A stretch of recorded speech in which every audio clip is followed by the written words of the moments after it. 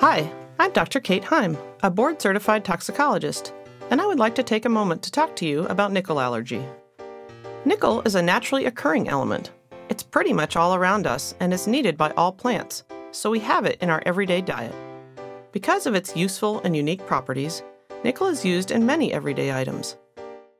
But some people are allergic to nickel. You might even be one of them. Fortunately, nickel allergy is not an inherited condition.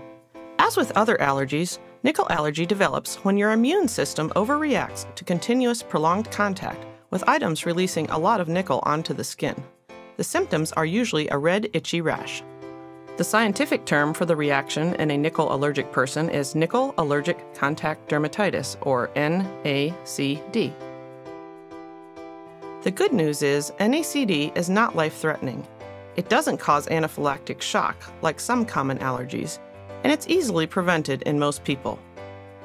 In most cases, once the high nickel releasing object is removed, the rash will simply go away after a few days. NACD is usually associated with earrings, jewelry, watches, and other ordinary items that may come into direct and continuous prolonged contact with the skin. In order for a nickel allergic reaction to occur, the nickel must be released from the item and get into the skin. It is the quantity of nickel released, not the amount of nickel in the material, that is important. Quality stainless steel watches, and especially watch backs, are typically made with high grade stainless steel. They may contain up to 28% nickel, but will not release enough nickel to cause a nickel allergic reaction. It's also important to note that some people with a nickel allergy can be hypersensitive.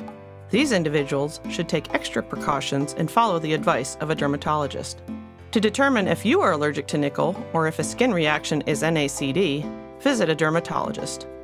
For more information, visit the Nickel Institute website at nickelinstitute.org.